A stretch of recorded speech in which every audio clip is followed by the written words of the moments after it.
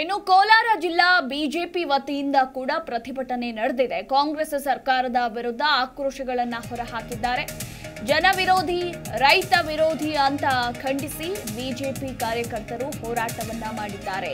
ಹೊಸ ಬಸ್ ನಿಲ್ದಾಣ ವೃತ್ತದಲ್ಲಿ ನಡೆದಿರುವಂತಹ ಬೃಹತ್ ಪ್ರತಿಭಟನೆ ಇದು.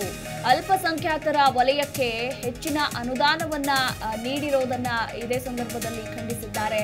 ಕೋಲಾರ ನಗರದ ಹೊಸ ಬಸ್ ನಿಲ್ದಾಣ ವೃತ್ತದಲ್ಲಿ ಬೃಹತ್ ಪ್ರತಿಭಟನೆ ನಡೆದಿದೆ.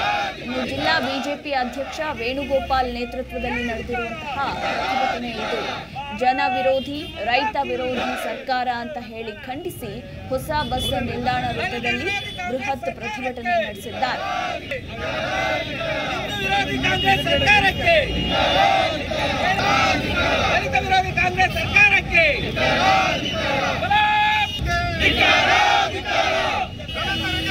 ಮಾಡುತ್ತಿರುವ ರಾಜ್ಯ ಸರ್ಕಾರಕ್ಕೆ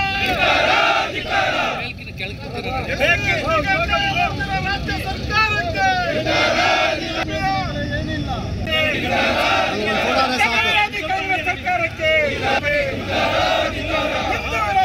ಸರ್ಕಾರಕ್ಕೆ. ಜಿ ಕನ್ನಡ ನ್ಯೂಸ್ ಈಗ ನಿಮ್ಮ ಮನೆಯಲ್ಲೇ ನೋಡಿ. ಎಲ್ಲ ಕೇಬಲ್ಗಳಲ್ಲಿ ಈಗ ಲಭ್ಯ.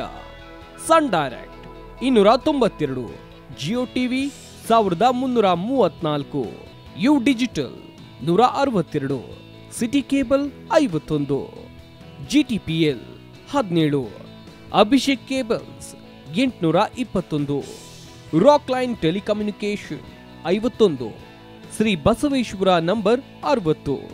ವಿನಾಯಕ ಡಿಜಿಟಲ್ ನಂಬರ್ ಐವತ್ಮೂರು. ಇನ್ ಡಿಜಿಟಲ್ ನಂಬರ್ ಎಂಟುನೂರ ತೊಂಬತ್ತಾರರಲ್ಲಿ. ನಿಮ್ಮಿಸ್ತದ ಜಿ ಕನ್ನಡ ನ್ಯೂಸ್ ನೋಡಿ ಆನಂದಿಸಿ.